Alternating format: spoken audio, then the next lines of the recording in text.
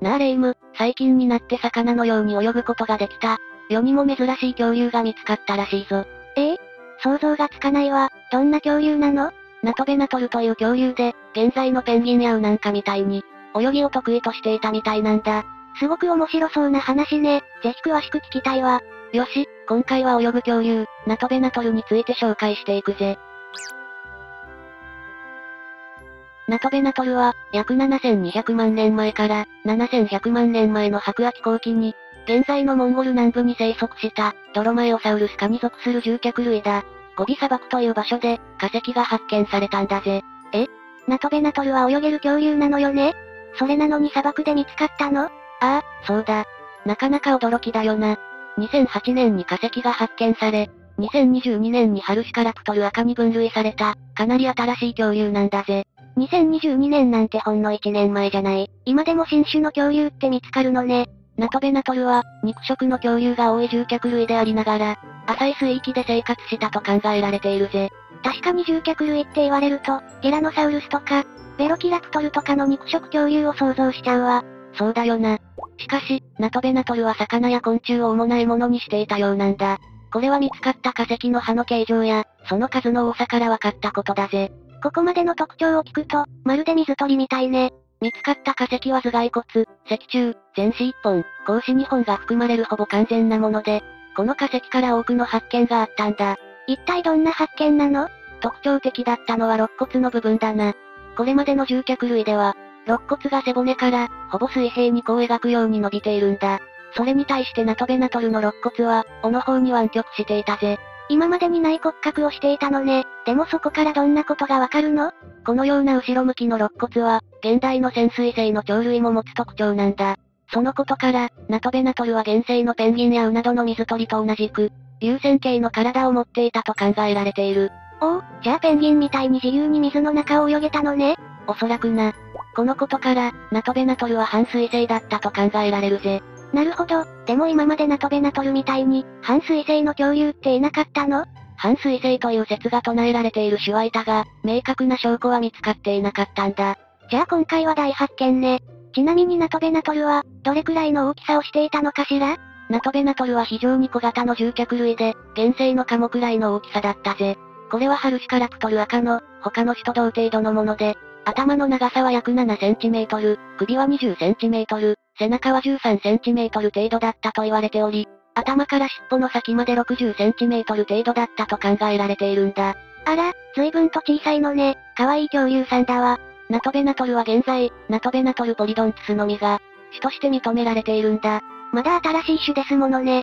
俗名のナトベナトルの由来は、ラテン語で泳ぐを意味するノトと、ハンターを意味するベネーターに由来し、種名のポリドンツスは、ギリシア語で数多くのを意味するポリスと、歯を意味するオデュースに由来するそうだぜ。つまり、歯をいっぱい持った泳ぐハンターね。なかなかかっこいい名前じゃない。そうだな。それにしても、ナトベナトルは既存の恐竜とは違った特徴を持っていたのね。ああ、その通りだ。その特徴がどうして、泳ぎが得意なことにつながるのかもっと詳しく知りたいわ。よし、じゃあここからはナトベナトルの体の構造がどのようなものなのか、そしてナトベナトルの発見によって、これまで生態が謎に包まれていた恐竜の、暮らしぶりについても、研究が大きく進んだことについて解説しよう。それも気になるわね。よろしく頼むわ。古生物学者たちは長い間、恐竜は陸に住むものであり、水中に暮らすのは魚類や視竜などであると考えてきたんだ。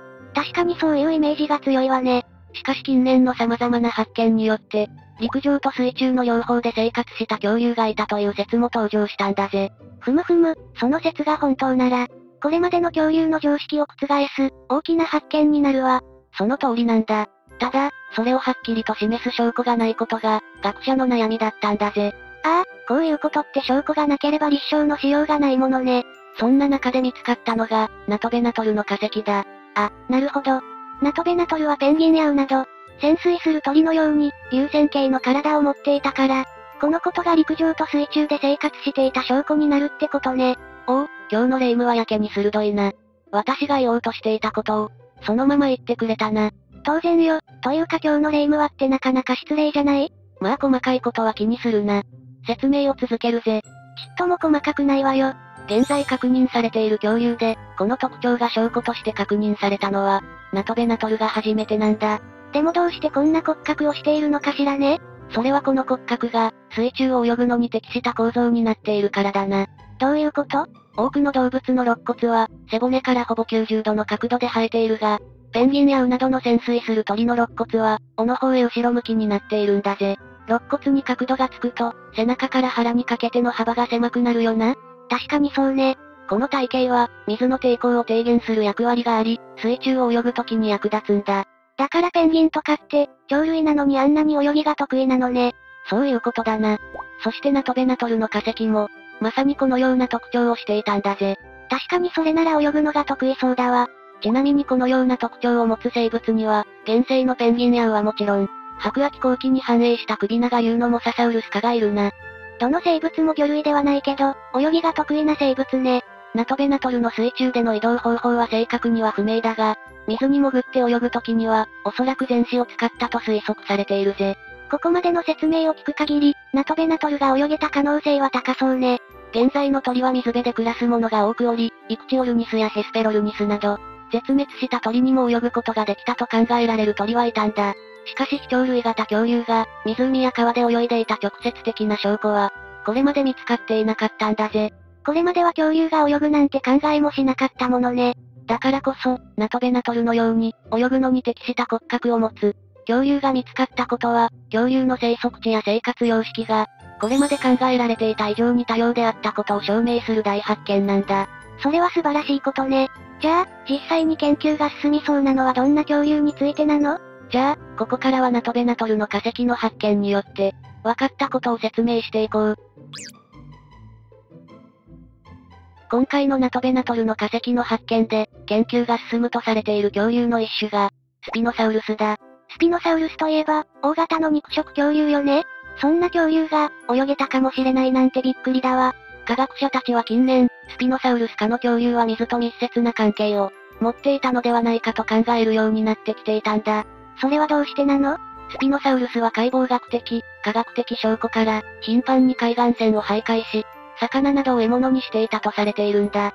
他の捕食恐竜に比べて、明らかに水辺での行動が多く、オールのような尾を持っていたことから、泳げたのではないかと言われているぜ。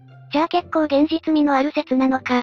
スピノサウルスは大型の肉食恐竜で、体長はティラノサウルスよりも長い15メートル、体重は7トンもあったぜ。背中には巨大な穂のような突起があり、口はワニのように長く、円錐形の歯が密生していたことも、水に関係が強いとされる理由だな。確かに言われてみると、泳ぐことができそうね。これらの理由から、研究者の中では、スピノサウルスの中でも、体の大きかったものは、水の中で過ごすことが多かったと主張しているんだぜ。なるほど。反対意見はなかったの？もちろんあったぞ。スピノサウルスは泳いで魚を追いかけていたのではなく、浅瀬で魚を待ち伏せしていただけとする主張もあるんだ。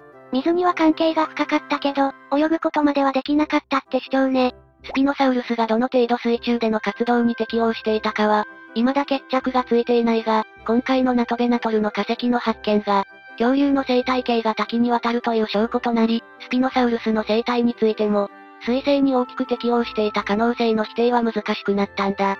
恐竜の生態系には、まだまだ色々な可能性があるってことね。そういうことだ。じゃあもっと他の種類の恐竜で、泳いでいた可能性のある種はいないの？もちろんいるぜ。ええー、それも気になるから教えてちょうだい。もちろんだ。ナトベナトルの禁煙種でもある、ハルシカラプトルも、水中を泳いでいた可能性のある恐竜だな。ナトベナトルの禁煙種ってことは、色々と似ている部分がありそうだし、かなり泳げた可能性は高そうね。そうなんだぜ。ハルシカラプトルはナトベナトルと同じような体型で、大きさは約1メートル程度だったとされているんだ。なるほど。ちなみにどの時代に生きていたの？生息年代は約7000万年前の白亜紀後期だな。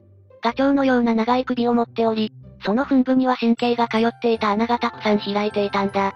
墳部って口の部分のことよね。でもその特徴が何を意味しているのかしら？これは原生のワニのように、水中での獲物の動きを感知するための、顔面触覚が優れている生物に見られる特徴なんだぜ。このことからハルシカラプトルは、原生のガチョウやアヒルのような、半水生の泳げる恐竜だった可能性があるということを示しているんだ。おお、確かに水辺に関係した特徴ね。でもここまでわかっていたのなら、泳げるって決まったようなものじゃない？確かに私たち素人からしたらそうだよな。しかし、泳げたことを証明するには、しっかりとした証拠が必要なんだぜ。さっきの特徴じゃ証拠にならないの？まだ決定的とは言えないみたいだな。なかなか恐竜の研究も大変ね。ハルシカラプトルは、頭部や頸部は原生鳥類のガチョウや白鳥のようだが、前肢はペンギンのようにヒレ状であり、胴体部の骨格には、ベロキラプトルのような、非鳥類型小型獣脚類の特徴が見られるんだ。当時の研究者らはこの特徴に驚き、捏造化石である可能性も考えられたんだぜ。それだけ驚きの発見だったってことね。今まで見つかったハルシカラプトルの化石は、化石の胸郭の保存状態が悪く、半水性であることを、裏付ける決定的な特徴がなかったため、一部の科学者からは、ハルシカラプトルが泳げるということに対して、反対意見が出ていたわけだな。あ、でも胸郭の部分って意味では、ナトベナトルの化石が役に立つんじゃない？そう、そういうことなんだ。今回のナトベナトルの化石の発見から、ハルシカラプトルの胸郭も、流線形であった可能性が高く、ハルシカラプトルが、半水性であるということの大きな証拠になりうるんだぜ。これはついにハルシカラプトルが泳げる証拠になりそうね。まあ厳密には違う種の化石だから、もっと研究が必要ではあるがな。まあそれはしょうがないわよね。これからも研究者さんには、頑張ってもらいましょ。今回のナトベナトルの化石の発見は、泳ぐ恐竜についての研究の、第一歩に過ぎないんだ。そうよね。これからの研究でもっと意外なことが分かったりする。可能性も大いにあるわけだし。他にも、こんな面白いことが恐竜の化石から分かっているんだ。え？面白いことってどんなこと？原生の動物で言うと、水中で狩りすることが多いペンギンや、カバなどの動物は骨密度が高い傾向にあり、骨が重りの役割を果たしているという説があるんだ。重い方が水中で沈みやすくて、自由に動けるってことかしら？その通りだ。しかしハルシカラプトルの骨は、ペンギンとは違って中が空洞だったんだ。え？じゃあ水中での活動は苦手だった可能性もあるじゃない。その可能性はゼロじゃないよな。対してスピノサウルスは骨密度が高く、このことは水中で多くの時間を過ごしていたという裏付けになるんじゃないかと言われているんだ。むむむ。なかなか話がややこしくなってきたわ。それだけ生き物の体は謎が多いってことだな。それこそ発見されて日が経っていないナトベナトルには、分かっていることはまだまだ少ない。見つかってからまだ1年ですものね。これからさらなる研究が進めば、より細かい生態が解き明かされていくだろう。現時点で分かっているのは、ナトベナトルは水辺で生きていくために、他の多くの禁煙種とは異なる進化の道を歩んだということだな。他の禁煙種でもナトベナトルに近そうなのは、ハルシカラプトルだけなの？ああ、そう言われているな。同じドロマエオサウルス科には、あのベロキラプトルもいるんだ。ええ？ベロキラプトルなんて、肉食恐竜の代表格じゃない。ナトベナトルと禁煙種だったのね。ナトベナトルはベロキラプトルのような、捕食者とは全く違った生態を持っていた。このことは、禁煙種でも全く異なる道を歩む場合があるという一例を、我々に教えてくれているんだぜ。知れば知るほど恐竜の世界って奥が深いわね。でもじゃあひょっとしたら、実はベロキラプトルも、泳ぐことができたかもしれないんじゃない？うーん、さすがにそれは話が飛躍しすぎているとは思うが、絶滅してしまっている以上、可能性がゼロとは言えないな。そうよね。ただ、ベロキラプトルみたいなハンターが自ら突然襲いかかってくるのは、ターゲットにされる側からすると怖すぎるわね。まあ、そんな妄想ができるのも、古生物のいいところだよな。とりあえず、今日説明したかったことは以上になるぜ。レイム、どうだった？ナトベナトルは今までに例のない骨格をしていて、泳げる可能性を持った恐竜だということが分かったわ。これは今までの恐竜にはなかった特徴だから忘れるなよ。